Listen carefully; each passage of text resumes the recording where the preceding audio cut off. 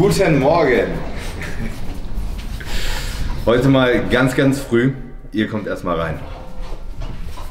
Nachdem ja die letzten Vlogs so gut angekommen sind, dachte ich, ich drehe heute für euch mal ganz professionell den ganzen Tag sozusagen Day in the Life of Max Matzen. Wie ihr meinem Gesicht entnehmen könnt, ja, nähern wir uns der finalen Phase der Diät. Wir haben es jetzt momentan noch vier Wochen bis zu meinem ersten Wettkampf mit dem Tobi in Alicante in Spanien und ich muss sagen, der größte Unterschied zu den letzten Videos ist momentan mein Energielevel.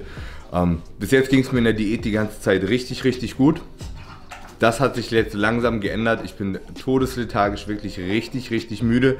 Muss mich zu allem durchringen. Aber wir nehmen euch heute einfach mal mit und ich zeige euch mal, wie jetzt die letzten vier Wochen Diät bei mir aussehen. Ich habe mich heute Morgen natürlich nach dem Aufstehen direkt gewogen. Absolutes Tiefsgewicht in der Diät, das sind 116,8 Kilos. Das Gewicht ist von gestern auf heute nochmal ein Kilo gesunken. Das ist auch nicht übermäßig verwunderlich, denn die letzten drei Tage gab es für mich eigentlich keinerlei Kohlenhydrate. Also jetzt muss nochmal wirklich das letzte bisschen an Fett, was noch so am Rücken und am Arsch klebt, runtergerockt werden. Dementsprechend geht es jetzt auch ins Cardio-Training. Da hat sich bei mir nicht viel geändert morgens. Alle Subs sind ja, nahezu identisch geblieben. Auch die Subs, die euch besonders interessieren, also Juhim Bean, Clen, T4, ähm, ist alles beim selben geblieben. Es sind auch immer noch 45 Minuten Cardio. Die größte Änderung ist wie gesagt momentan die Ernährung. Ich bin, gestern war ich nur bei 2300 Kalorien, das ist normalerweise mein Frühstück in der Offseason. Momentan handhaben wir das Ganze so, äh, jeden Morgen nach dem Cardio-Training mache ich Fotos für meinen Coach, schicke die rum und warte dann ab, was ich den Tag über essen soll. Ich hoffe, heute gibt es ein paar mehr Kohlenhydrate. Ich denke, es werden allerdings nicht mehr Kohlenhydrate. Eine Sache hat sich doch noch geändert. Und zwar gibt es morgens Kaffee bei mir.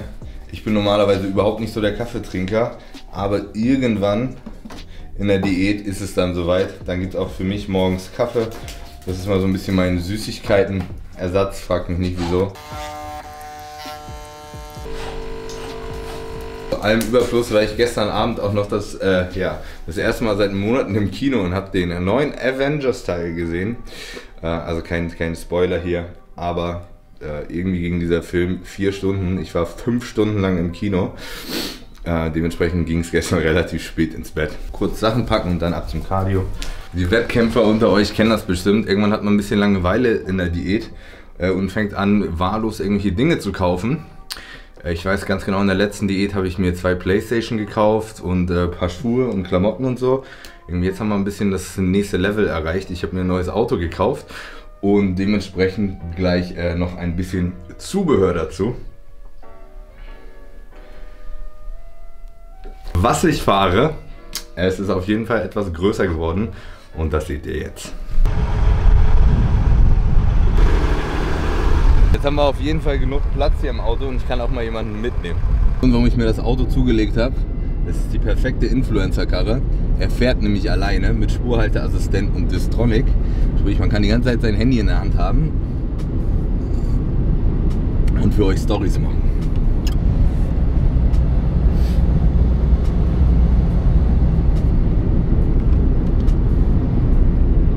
Meine Finger sind so eiskalt, das könnt ihr euch nicht vorstellen. Das ist auch ein Diätzeichen. Am Wochenende war die deutsche Meisterschaft und als ich abends zu Hause war, habe ich mit zwei Decken gepennt und Heizung an und ich habe die ganze Nacht gefroren. Kopfhörer auf, Welt aus und ab geht's.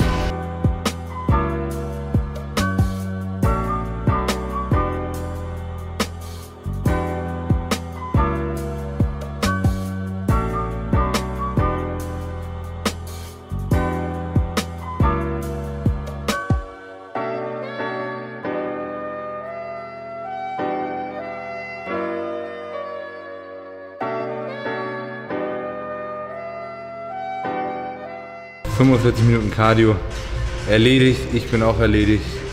Ab nach Hause, Formcheck, Frühstück.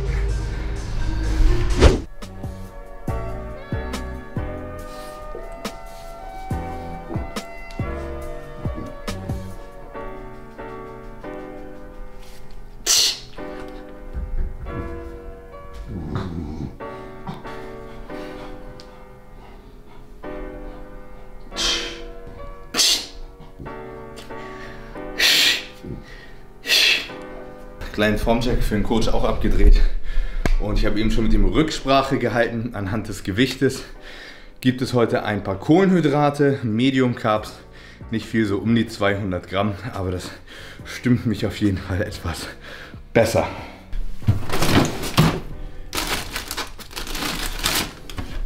Zwei Laugenbrötchen. Heute gibt es mal vier Laugenbrötchen, der Kameramann kriegt auch was. Es gibt zum Frühstück vier ganze Eier, 300 Gramm Eiklar und zwei Laugenbrötchen. Bei mir momentan 12 Gramm Salz am Tag.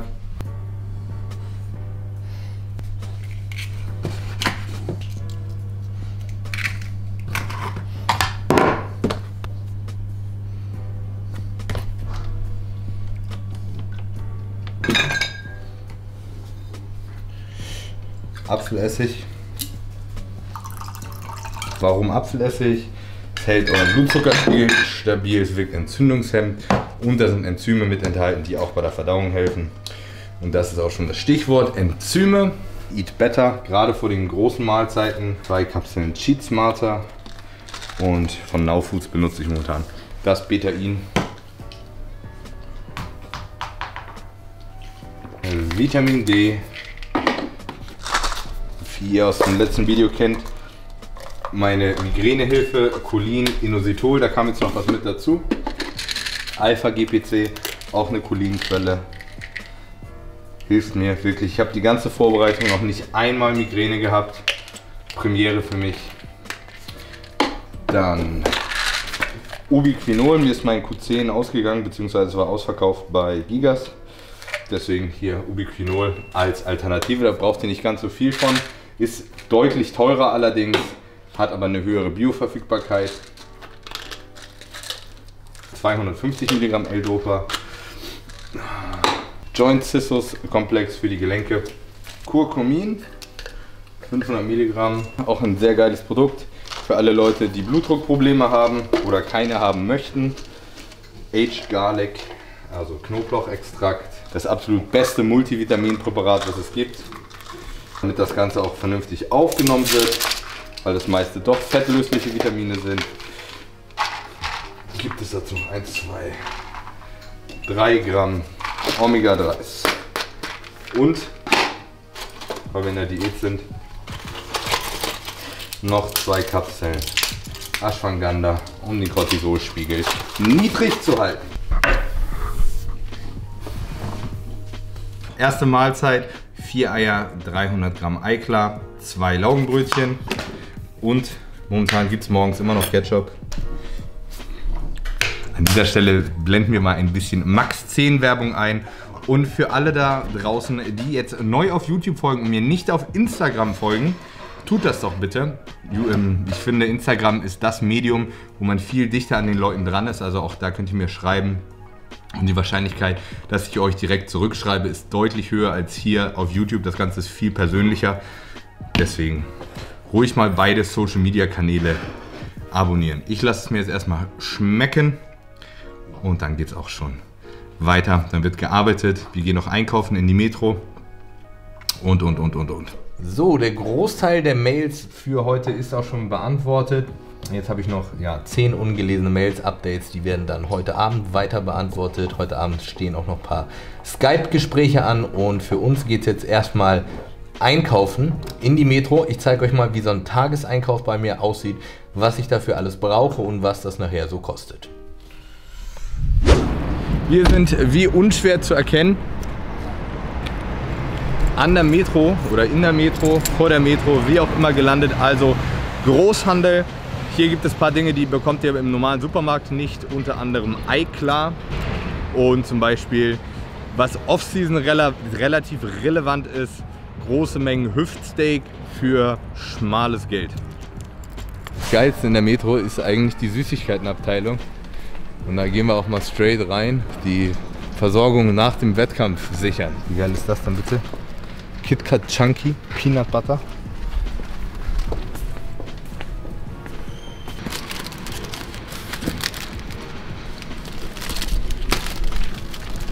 mal eingekauft. Für nach dem Wettkampf, ganz wichtig.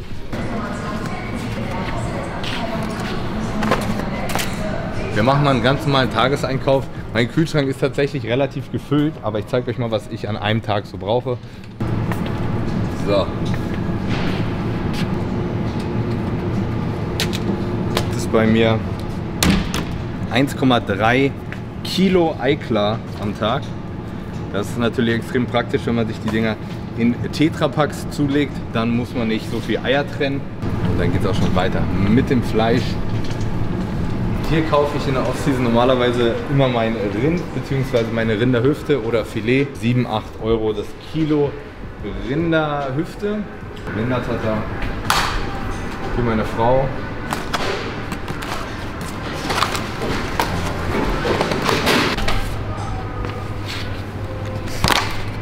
Right. Einmal Hähnchen, Meal Prep, das kommt auf den Grill.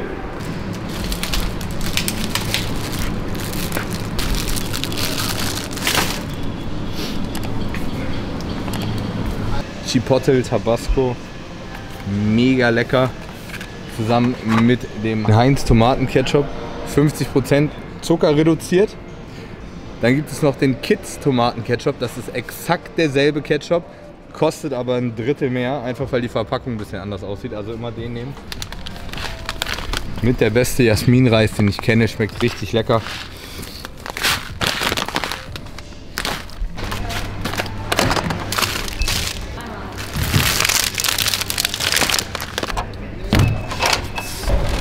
Einkauf waren jetzt etwas über 80 Euro. Das ist natürlich nicht verwunderlich wegen der ganzen Süßigkeiten und ja quasi Fleisch, was ich im Bike gekauft habe. Das rechnen wir zu Hause mal auseinander, was mich denn tatsächlich so ein Tag Bodybuilding-Ernährung momentan kostet.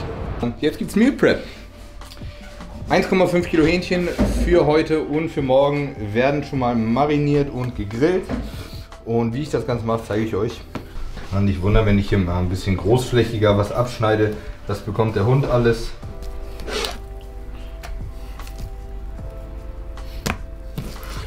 Und jetzt kommt mein momentanes äh, Spezialgewürz zum Einsatz. Jamaican Jerk von Gym Chef. Da könnt ihr euch mit den Händen ein bisschen durchmatschen, das ist scheißegal.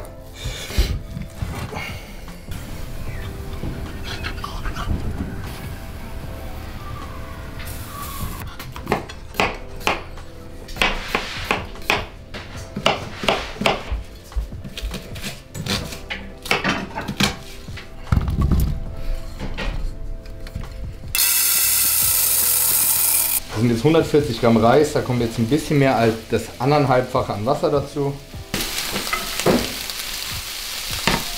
1100 Gramm sind das und es sind sechs Mahlzeiten, heißt 183 Gramm pro Mahlzeit. Ein kleiner Bodybuilding-Tipp, Scheren benutzen, um das Fleisch zu schneiden.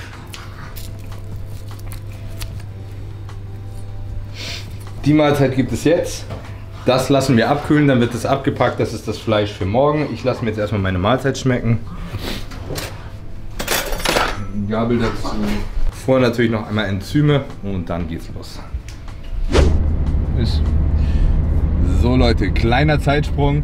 Wir sind jetzt auf dem Weg ins Training. Die Pre-Workout-Mahlzeit, habt ihr vorhin sowieso schon gesehen, ist verhaftet worden. Ich habe eben einen kleinen Mittagsschlaf gemacht. Ich dachte, das muss man nicht filmen.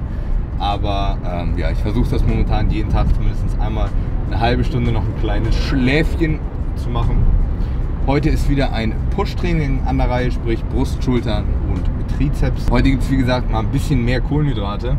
Ich hoffe, dass im Gegensatz zu gestern, da war das Training nämlich wirklich langsam etwas beschissen, die Kraft geht nach unten und durch ja, den, den Mangel an Kohlenhydraten und Glykogen in der Muskulatur ist auch einfach das Gefühl im Muskel leider nicht mehr so da. Ähm, gestern habe ich Rücken trainiert zusammen mit Tobi, dem geht es auch momentan so, man kriegt einfach deutlich schlechter an Pump. Ich hoffe, die paar Carbs, die es heute bis jetzt gab, äh, haben daran was geändert. Insulin ist auch wieder mit drin, 30 Gramm Vitago Intra-Workout, und Schoko Crispies Post-Workout. Wie gesagt, schauen wir einfach mal. Wenn nicht, ist auch nicht so wild. In den letzten drei Wochen wird es sowieso schwer, noch Muskulatur aufzubauen. Das sollte inzwischen abgehakt sein. Aber man muss natürlich trotzdem bis zum Ende hin schwer trainieren und versuchen, das Beste zu geben. Schwer und clever trainieren, damit man sich nicht noch was abreißt auf die letzten Meter.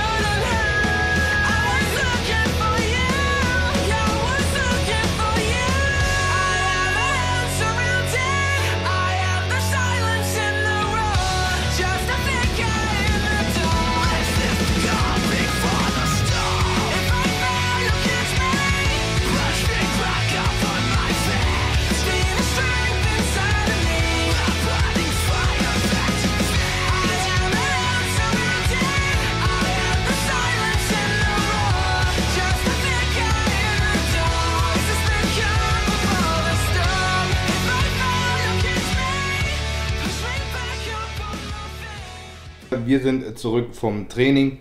Nach dem Training gab es bei mir noch 60 Gramm Schoko Crispies und äh, 50 Gramm Battleway. Das habt ihr jetzt leider nicht gesehen, das war aber das Highlight heute. Und jetzt eine Stunde später gibt es meine letzten Kohlenhydrate für heute. Nochmal 70 Gramm Reis mit 250 Gramm Hähnchen und etwas Gemüse. Und ja, um 8 werde ich noch mit dem Alex, also meinem Coach, telefonieren. Denn die heiße Phase hat jetzt quasi begonnen. Es sind nur noch vier Wochen bis zum Wettkampf beziehungsweise nur noch drei Wochen, bis ich fertig sein muss und dann fängt auch schon das Entladen und Laden an. Und ja, die weitere Vorgehensweise werden wir gleich noch besprechen. Sollte sich was Gravierendes ändern, mache ich ein eigenes Video drüber. Ansonsten heißt es für mich jetzt erstmal Essen, regenerieren und ja, ich habe ab 2030 Skype-Calls bis heute Abend 23 Uhr, muss dann noch Pläne schreiben, also mein ganz normaler Arbeitsalltag und dann gibt es noch die letzte Mahlzeit und ab ins Bett.